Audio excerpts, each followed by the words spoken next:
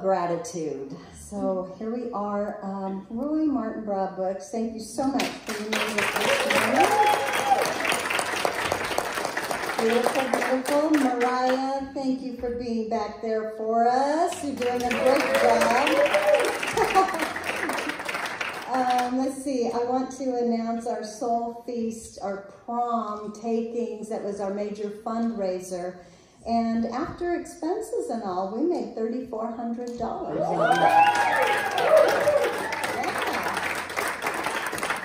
So thank you everyone who participated. It was a lovely prom, by the way. And boy, did we dance. And that band just rocked it. Where is she? So thank you everybody for uh, attending that. And if you didn't make it, next year we'll be doing something again. So mark your calendars. Come to the Soul Feast. Uh, let's see, I have a few announcements here. What are they? So this Wednesday evening is uh, a special service. We will be having um, a CSL potluck Thanksgiving on Wednesday. Now put your ears on. That starts at 6 p.m. Okay, the actual dinner starts at 6. I have a sign-up sheet over here, and uh, Nina and Nancy E are in charge. Do you hear it? It's on the camera. Nina and Nancy E are in charge. So if you have questions, you can ask them, but they would love for you to sign up if you're coming so that we can set up enough spaces so that we know if we're having, what, what we're having, do they need to supplement uh, some things. So I think it just asks for your name and what you're bringing over there. Super appreciate if you'd sign up. And you can come if you don't sign up. It's okay. We're not going to throw you out. Now, at 7 then, after that Thanksgiving dinner, we have the labyrinth set up up here in the sanctuary. Yeah. So if you have not experienced the labyrinth, um, I really encourage you to do so. Uh, I'm just going to read a small little thing about labyrinth. Uh, labyrinth walking is an ancient practice used by many different faiths for spiritual centering, contemplation, and prayer. Entering the serpentine path of a labyrinth, you walk slowly while quieting your mind.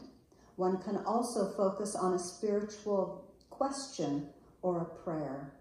So Dave and Tamara own this uh, labyrinth mat and it's super high quality and it's huge. And so they'll have it set up that you can come up after the Thanksgiving dinner and walk the labyrinth for whatever purpose uh, you choose, but it is quite an experience. Do you want to say anything about that? Not necessarily. I think you said it all. So uh, we look forward to that. And we do that uh, just here and there here. So it's a good opportunity to take advantage of the fact that we're doing it. So that's all happening this Wednesday. 6 p.m. is dinner, 7 p.m. is labyrinth. Um, look at what we have. Can you see what this is? It's a CSL cookbook.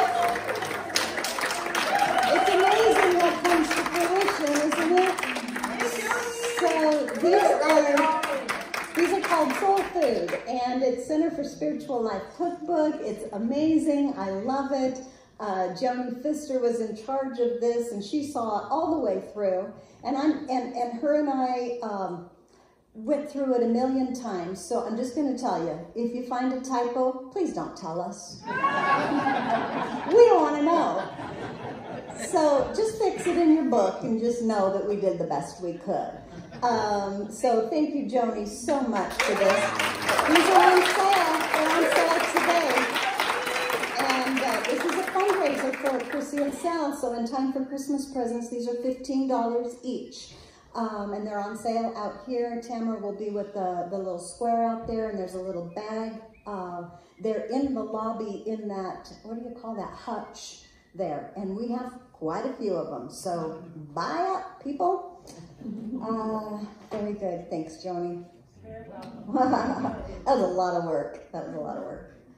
Uh, okay, I think that's all for the announcements right now. So um, let's just relax here for a moment. Let's just take a deep breath as we start our service speaking our vision statement together now.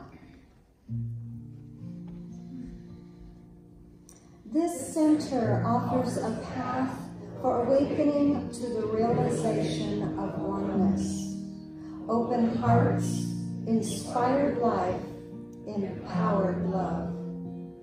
Our spiritual community welcomes all people to embrace oneness as the truth of our being. Together, we see a world of love, peace, and abundance for all.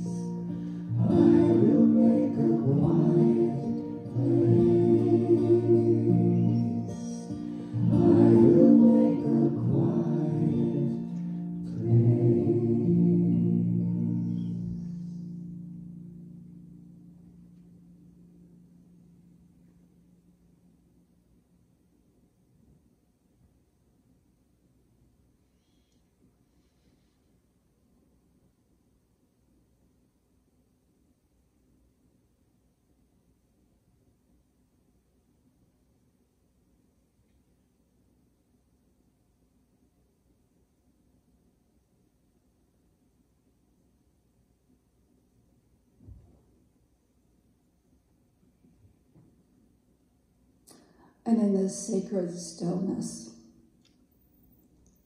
I invite you to join with me as we breathe together this breath of life, this divine essence of the One, the one power, the one presence, the one life that creates all, sustains all, and is all. This breath of life that is so freely given. And I am so grateful. For this breath is the life of God, of spirit, of love, of oneness, called by many names, expressing itself as all seen and unseen creation in wholeness perfection and completeness. And as I know that I am an active expression of this oneness, as its peace, its love, its harmony, its joy, its wisdom, I know that this moves in and through and as me, creating my life as a divine expression. And I am unified with all of life. And I know that this is true for each and every life. For each of us are united in that fullness of spirit, each a unique and diverse expression of this one divine, ever flowing life. And so today I declare with deep reverence for that holiness of each life that we see each other as Spirit sees, as an expression of love, of the divine itself. And we are grateful for this recognition of Spirit in the diversity of life. We are grateful for being a part of the livingness of this magnificent life. And as we feel this divine presence, we know that we are being guided, directed, uplifted in wondrous ways to a fulfilling life. And we are grateful that this Spirit guides our decisions and all of our affairs, surrounding us in its loving light. And that we are unified with all of creation, with each other that there is no place where this unification is not. And I declare that we are each open and grateful for a yet to be expression of our divine beingness. And for each prayer request and the desires of your heart, I know that the activity of spirit is now at hand that this fullness of spirit is right in the midst of each desire, of each request, revealing the perfect expression of health, abundance, wisdom, guidance, and comfort. Each request is being guided and directed to its highest and best expression. And I am so grateful for this blessed gathering grateful for the volunteers, the congregants, the musicians, for the message, for just everything that comes together, for this uplifted, upliftment as we experience a greater expression, expression of the divine. And so being grateful for this life that is freely given, being grateful and thankful for the way that we are open to receive all of its abundance. I release these words into the law, knowing with full confidence that the universe of spirit always says yes, that our word does not come back void as we join together and declare, and so it is.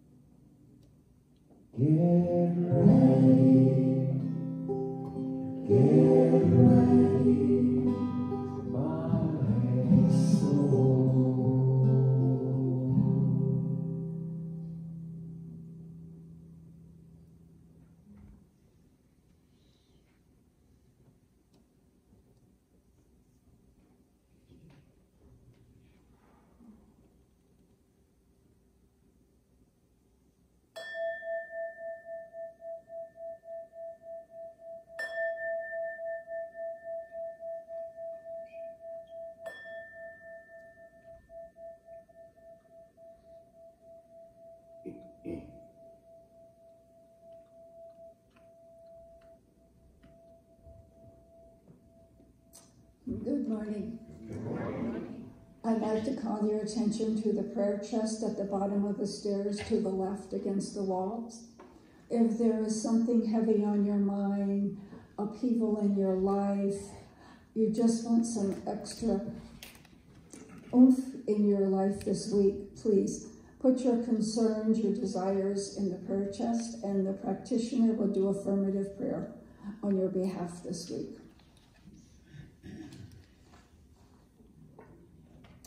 In ordinary life, we hardly realize that we have received a great deal more than we give, and that it is only with gratitude that life becomes rich.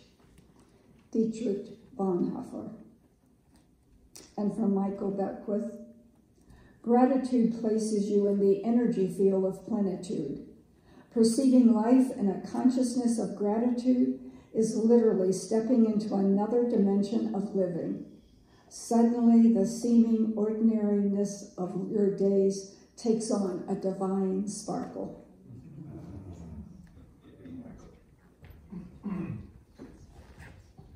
That's pretty wise, Michael Beckwith. All right. Uh, let's see. I have no joke, but I have a picture. How about that?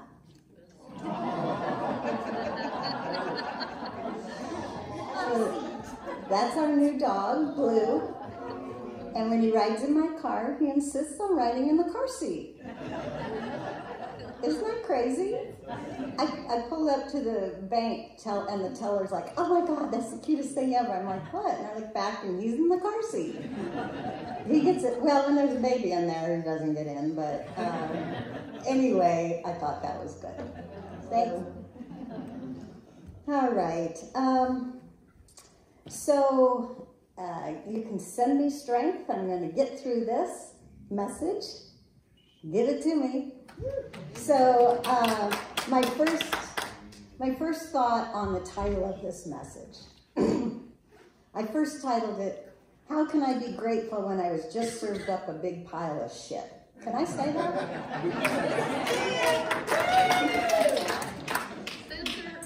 All right. But instead, my title is Gratitude, the Language of a Healthy Soul. So, I'm in reflecting the title for our whole year of 2023. So you see it every single week, right? It's on everything. My best year because I deserve it.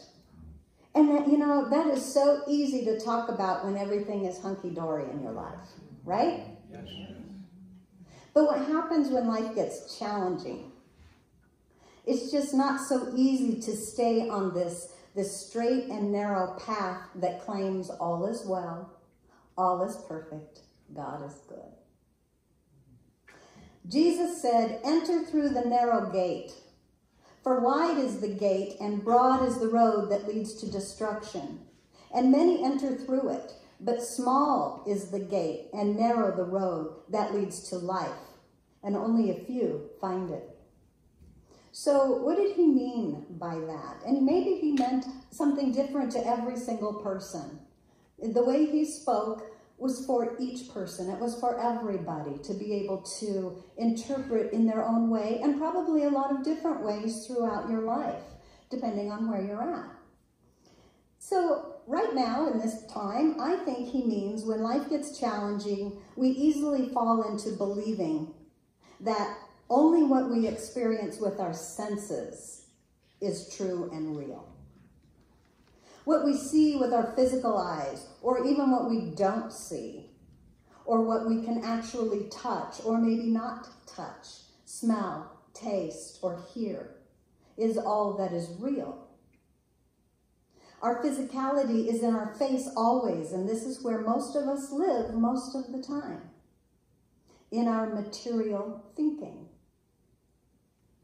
The broad path is perceiving life from this physical perspective only. And it causes us to suffer and feel pain, that road of destruction.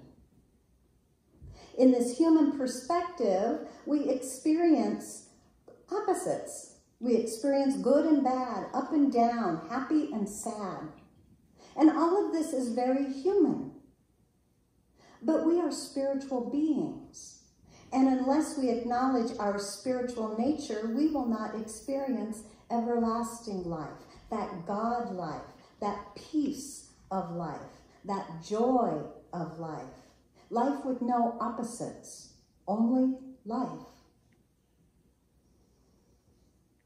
So I've been experiencing my humanity lately, wondering about life and death. And, you know, I've come across the thought, not my thought, I'm sure, death is not the opposite of life. Birth is the opposite of life. And birth and death are human phenomena. There is no birth and death in spirit. There is only life, the life of God, eternal and forever. Jesus said, God is the God of the living, not the dead. An infinite life principle, like God, would know nothing of death. How could a life principle know anything of death? So I've been having a lot of conversations with Jesus lately. He's fast becoming my best friend and my confidant. And I never really had much of a relationship with Jesus before. I was raised uh, in this philosophy, which a lot of times doesn't really talk about Jesus, but as I read Charles Fillmore, who is the co-founder of Unity, his work, it, it, he bases his whole philosophy of unity on Jesus Christ and the Jesus Christ teachings. And so does Joel Goldsmith, my very favorite writer. And so does Ernest Holmes. All base their work on the, the teachings of Jesus Christ. And in my heart, I believe it doesn't really matter what you call it if you call it Christ consciousness, higher wisdom, divine mind, the universe. But I'm practicing with Jesus. He always answers right away, almost before I call. And he speaks to me in my own voice and language. I could almost think that I'm making it up myself, except he is ever so much more wiser than I am, and calm and peaceful and reasonable and always loving. He answers me with phrases like, yo, or what's up? Things I understand, in words I can easily understand, but that I may not have thought of myself. So I've been making promises to Jesus to speak and keep his words in my heart, to share his ideas not by telling people about them or preaching them, but by living them.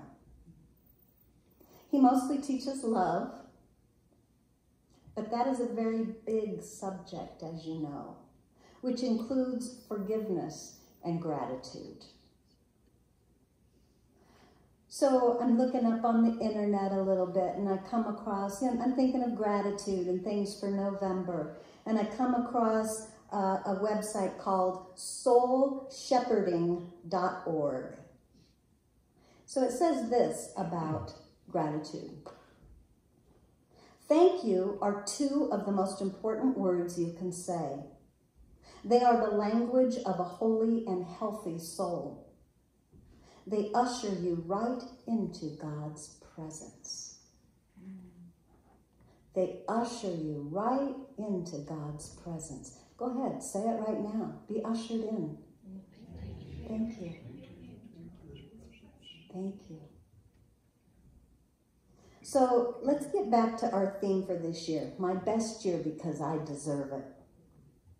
Notice it does not say my best year ever, just my best year, implying that this is the best I can do right now, and that is good enough. Always my best is good enough, for the universe never demands perfection.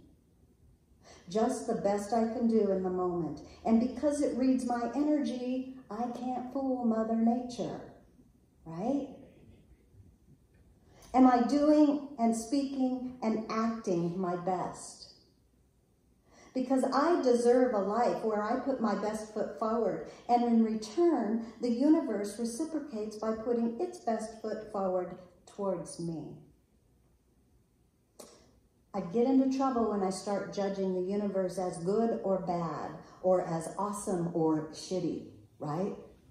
If I'm in alignment or in integrity, and my thoughts and my words and my actions all agree, then I must assume that the universe is always in integrity and showing up for me accordingly. I'm the one who puts the judgment of awesome or crappy on it. And then I, I react accordingly, complaining or being thankful, suffering or rejoicing. What if I just said thank you to everything that shows up and forgot the judgment? Again, Jesus said, judge not by appearances, but by right judgment. Right judgment, like gratitude, which ushers me right into the presence of God. How easy is that? So now the question how can I be grateful when I was just served up a big pile of shit? How ironic that I chose this theme for 20, or this theme for 2023, and it's turned out to be my most challenging year I can ever remember. But challenging doesn't mean it's not the best. My challenges have caused me to dive deeper than ever before into my spiritual practice. And you'll notice that our yearly theme also includes a year of spiritual practice. So go figure that I have to actually practice what I'm speaking and teaching, or it means nothing at all. So here are my thoughts, some of them from Jesus and some from just little old me. So for those of you who don't know what the heck I'm talking about, here it is. My story goes like this. My daughter gets pregnant and finds out early in her pregnancy, 19 weeks, that's pretty early, that she needs to go on total and complete bed rest so the baby does not come too early due to some cervical issues. Okay, not a lot of details in here. So I start going to her house for 10 hours each day while her husband works, and I take care of my daughter and her toddler boy Grady and her six-year-old Zeke and her home and her dogs. And together we got her to 24 weeks, which is a milestone to be able to deliver a viable fetus. And you know, we were we were crazy ecstatic to go to 24 weeks. And after six weeks of taking care of her at her home, she gets admitted to the hospital for total and complete bed rest. Now I'm still caring for her home and children and dogs, except she's not there anymore. She's set up long-term in the hospital until she delivers baby Winona. She makes it to her next milestone, 28 weeks, and then 30. And we're ecstatic when she passes the 31-week mark. And then, on a Friday, her water breaks. But Winona didn't come right away. It was on Sunday morning during a routine monitoring of the baby that they discovered a very low heart rate during an ultrasound and her doctor took her in for an emergency C-section. This emergency C-section was the telephone call that my daughter, who just, my other daughter, who just happened to be there at the time uh, she was visiting my, my daughter in the hospital, and she made a call. She knew she wasn't reach me because I'm recording on there. So she called Tamra, who just happened to have her phone on in the front row. Naughty Tamara. Good reason. Just happened, right? So she checked it, and it was Zoe. And she thought, if Zoe is calling me during church service, she must need to talk to her mom. Then you all witnessed this. Y'all saw what was going on. I know you were all distracted, so was I. And so I asked Roy to go call Zoe, and he went out and did. And uh, let's see. So we found out she was having this emergency C-section, and I decided just to leave right away. I decided just just to go and be with my baby girl, Haley. She, you know, needed her mom. But before I left, I got word that Winona was stable and that Haley was recovering. I had no other information about this at all. So, and I just want you to know right here that I have been overwhelmed at the amount of support and love and prayers coming from this community in particular. And Mile High Church, the whole minister staff, people in Tennessee, Donna Miller's groups, and people uh, from, from here that have their own private groups going out. Uh, indeed, Winona was surely everyone's baby. Everyone knew Winona. So thank you for that. Oh, I just ushered into the presence of God. So this long journey has has taken up a whopping 13 weeks of my 2023. And it ends my daughter and her husband never coming home with a baby. Winona suffered too much brain damage from no heartbeat for too long. She lived for one day. Some of you might not know that. This is not what we were expecting the end to look like. It is very hard to see the gift in this. This is the shit. If I choose to see it that way. And I wonder, like you probably do, do prayers even work? So, this is the one question that I asked Jesus, who in my mind is still a vibrant life force energy alive right now. Brenda, he said, you pray for God to fix things that you think are going wrong. And God knows nothing of things going wrong. You pray for better humanhood when you already have been given everything. How much better could God provide than everything? Pray to know God aright Pray to understand God's ways and trust that everything is already perfect if you only had the eyes to see. Pray for new eyes. Then be grateful that it is already done. Give thanks even though you don't see it. And you may never see it, but you will know it by the calm and peace that comes over your heart.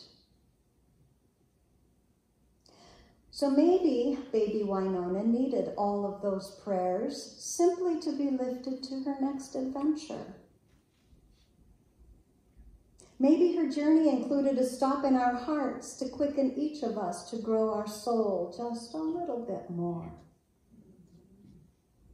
Maybe she was never intended to stay and live out her human life with us here and now. Maybe we needed all of our own prayers to lift ourselves up. No matter the outcome, I'm changed. You are changed. We are changed.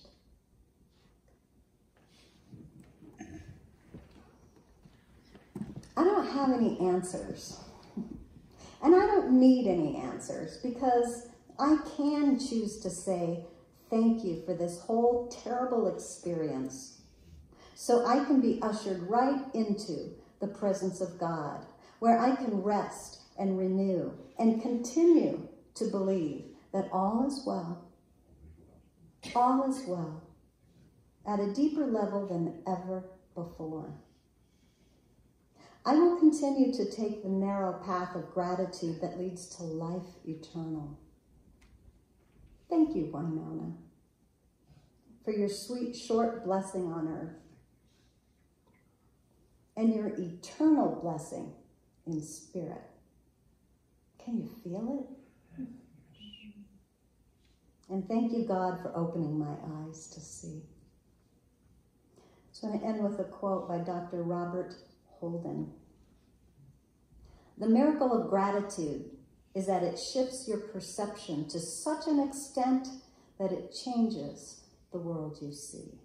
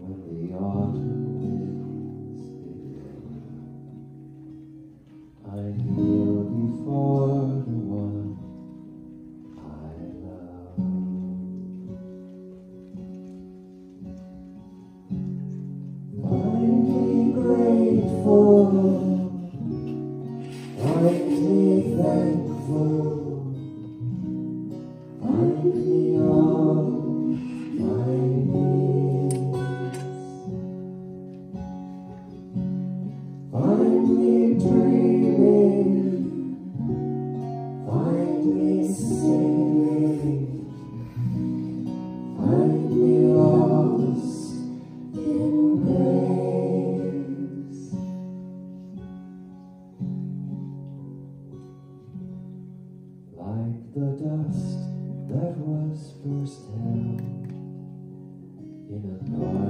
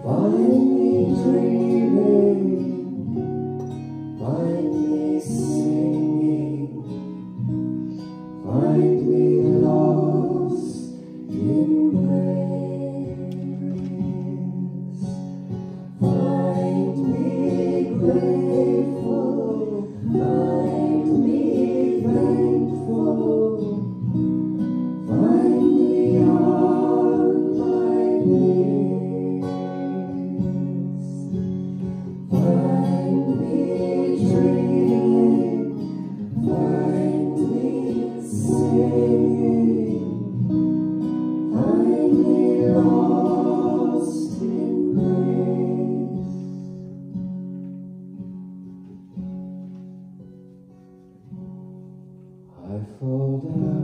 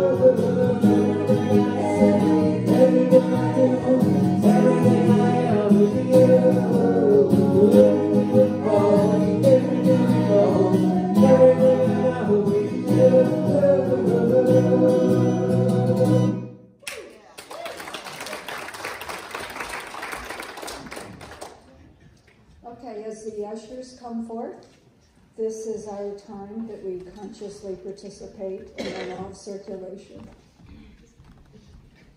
So if you just take your hand, in your hand your gift. And being grateful for these blessings that have been bestowed upon me, I give thanks for this abundance as I willingly, gratefully share in the circulation, knowing that my participation is the hand of God in action. And our affirmation New and rich ideas arise in my mind, and I demonstrate prosperity.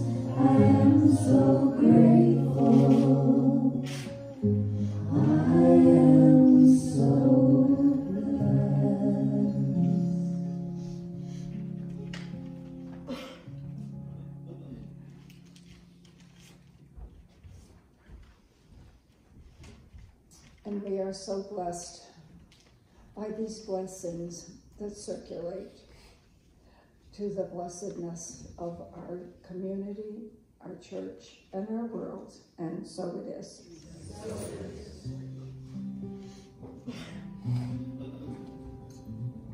Thank you, Lou. Thank you, thank you.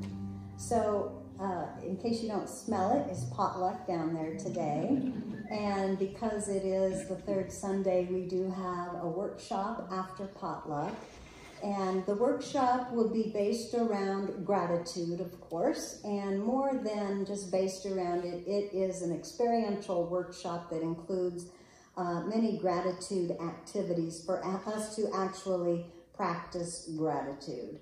So, um, if yeah, I won't hold you to this, but could I get an idea of how many people might stay for the workshop so I know where to set it up? Okay, so um, we'll we'll go down. We'll have potluck. We'll clean that up a little bit, and then um, maybe we'll even do the workshop down there because we we need to make a mess. I need to make a mess. so we're going to do a little gratitude work crafty ideas. Uh, okay, where are we? Welcome, new people. So, if you are here for the first time, welcome to CSL. I can't think of a better place to be on a Sunday morning than here with these people. So, thank you so much. Uh, welcome. We have potluck. Uh, if you'd like to know anything about the center, um, Tamara is running around here. She also will have the little square that if you'd like to use your debit or credit card for uh, pur- purchasing cookbooks, uh, paying for anything that we do, tithes, anything we take money for, she can do that. She can also answer questions that you might have uh, about the center, or you could just go down and sit at a table full of people and ask them questions. So, uh, welcome if you're new. Credit card prayer requests. So, we have this awesome practitioner over here who is a licensed, yeah, is a licensed practitioner of science of mind founded by Ernest Holmes. And uh, she, on her own time, voluntarily, willingly, and happily accepts our prayer request forms and takes them home on her own time in her spiritual time and prays on our behalf. Um, that is one of the greatest things that we offer as a community here is prayer. And Lou does that for us. If you put a prayer request in the box, so down the stairs to the left, all of those prayer requests are kept confidential. Um, so I really encourage you, no matter how small or large your challenge or joyfulness is, put it in the prayer chest and let uh, Lou know the truth for you the truth that everything that you already desire is already within you perfect, whole, and complete. Sometimes that's hard to see, isn't it? So we turn that over and let Lou see that for us. So thank you so much, Lou, for your service to the center. She's so humble, too. I just love her.